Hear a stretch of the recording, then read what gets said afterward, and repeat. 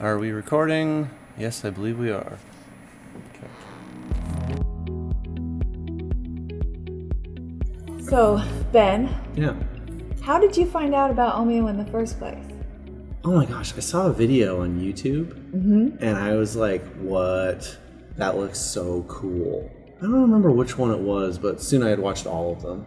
So I was like, oh, this looks awesome. Uh-huh. Just seeing a chair that didn't look dorky, I was like, I don't want to, like, I'm to have power. I want one that doesn't look dorky, right? Yeah. And I looked at a few other chairs actually. But I said, you know what? I'm just going to wait because I'd rather wait and get that thing because it looks so cool. Because I said, you know, I'd rather wait forever for that than just take whatever else is out there. Yeah. And so far, a week in, I'm really glad I waited, personally. Does it meet your expectations? Um, I didn't have a clear expectation of what it was going to be like because I didn't have any kind of frame of reference, right? There was no way to know how to compare this to even like I'd only driven a couple power chairs ever, and I'd only used a manual chair before that, so I didn't really know what to expect at all. And I tried it. I um, I did a, a test drive like before I had actually bought one, Yeah. and the test drive was enough. As soon as I test drove it, I was like, okay, yeah, I don't know, like I know what to expect now is something way cooler than I could have ever imagined. the, the seat wasn't set up right for me, and it was way more work than it should have been to drive it because it wasn't set up correctly for me. Um, but it was a taste, and that was enough. Like as soon as I got a taste of what it could do, I was like, oh, this looks like fun. I never got to take it out of turtle mode even, so it was like very much just like a taste, a little preview of what it might be like. Yeah. But it wasn't, you know, now I have my chair set up correctly so that it actually fits me and I can drive it correctly. And I, you know, have never have it in turtle mode again. Right.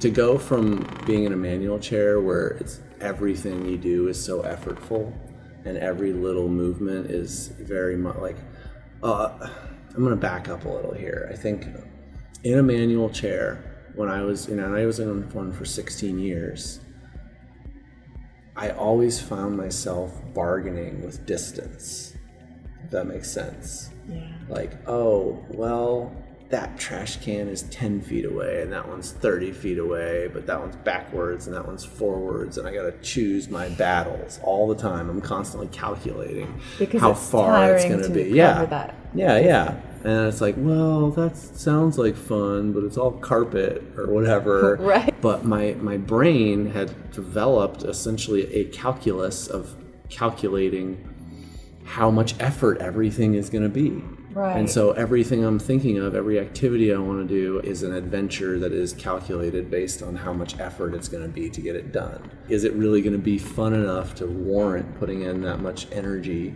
just to like be try to be included, right? Yes. Um, So now, if now, when somebody say somebody invited you to a party at a park, how would you? What What's the difference now? What do you see that I mean, being like?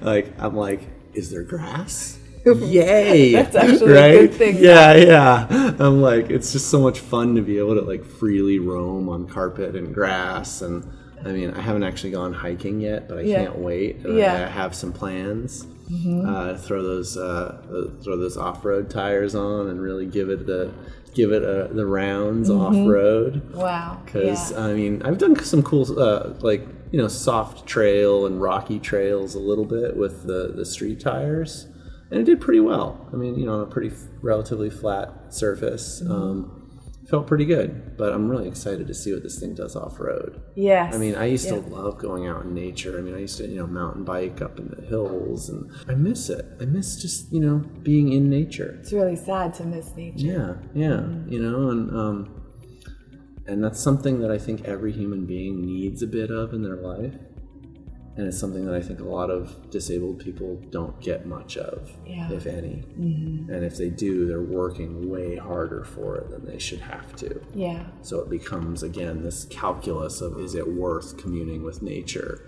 to put my hands and wrists and shoulders and elbows and just energy through that, right? I understand. I really understand. Yeah. Yeah.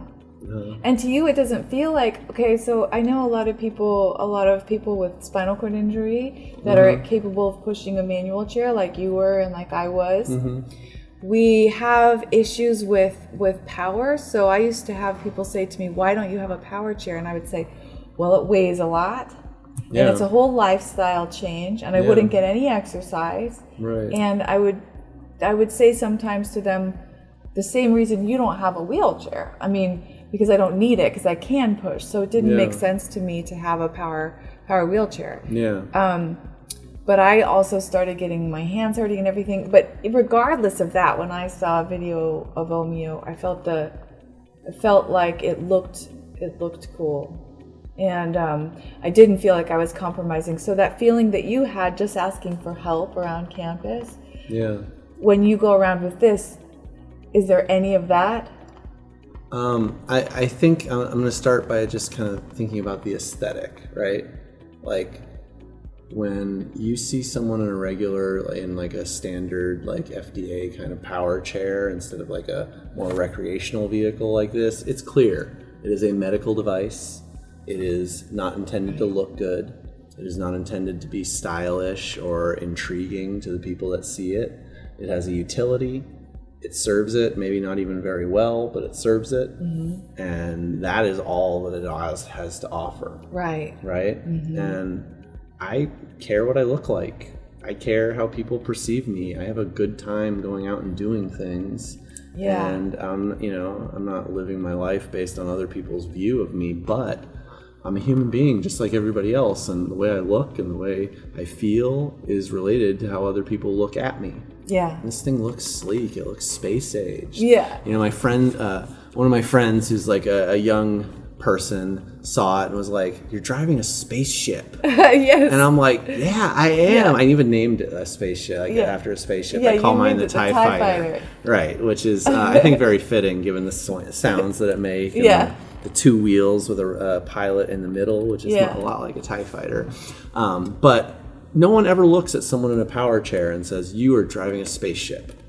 No. they say, right. you look like you're in a big clunky power chair. Yeah. Right? Yeah. And there's nothing wrong with that. No, It has a there's so utility. compassion and understanding. Yeah, and- yeah. And not and this the Omeo unfortunately isn't for everybody. Yeah. But I have friends that were riding power chairs that are riding Omeos. Yeah. And Yeah. and and then your regular able-bodied friends, if they had one, they would also have a blast because it's- Yeah. like, it's just fun. nobody can ride it and not think it's awesome. It's really a thrilling experience. It really is. It really is. And Well, I'm so I'm so happy for you. Just I we we talked with the night that you got it, and um, Mm-hmm. And you to me sounded like you were just beside yourself with Oh happiness. Oh my I know gosh. you were riding. I I, think you put ten miles on it. Well, I still am, and it's been a year. yeah, yeah. But I didn't put 110 miles on it in a week. In a week, You I put 10 miles a day, more I than 10 miles yeah, a day. yeah. The And, first um, day I put 10 miles, second day I put like 18. Yeah, you're Yeah. living on you're living Ben is living on the Stanford campus and it's a gorgeous Yeah, there's so many It's great so places pretty. to go ride and so yeah, many great places it's to so just pretty. I want to live on the Stanford campus. right? You know, yeah, it's it's it's just beautiful to go whipping through this, and everything Yeah. is it's, it's hilly, a little the- hilly, yeah, but not very hilly, and it's and it's really gradual. Yeah. Like and- everything's concrete and asphalt paths, and then big expanses of grass, and Right. everything on it is really fun to ride this around. So I'm just so happy for you that you get to spend three years riding this around Stanford. It's like a dream life. It really is. Uh, it has Mm-hmm. been quite a journey already, and it's just getting started. It's just the first beginning. Yeah, and you've been such a great The first support. 110 You've been such a great support in this whole journey so far already. Good. You're already Um, better at it than me. Yeah, you think so? Maybe don't with the doors. I don't know. You're better. You're better at seat steering than me. Still, I'm learning. Yeah. Yeah. I'll tell you, the only thing more fun than an Omeo is two Omeos.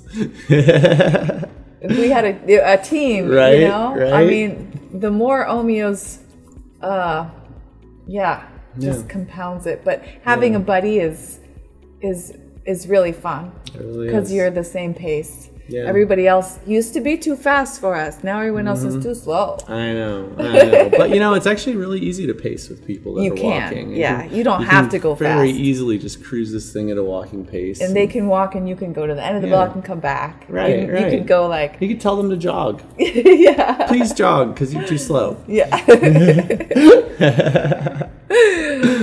okay. Well, thanks so much, Ben. Thank, you, so much for your time. Thank you. It's been really fun. I really appreciated all that you've helped me with. Yeah. Oh, you're so welcome. It's my pleasure.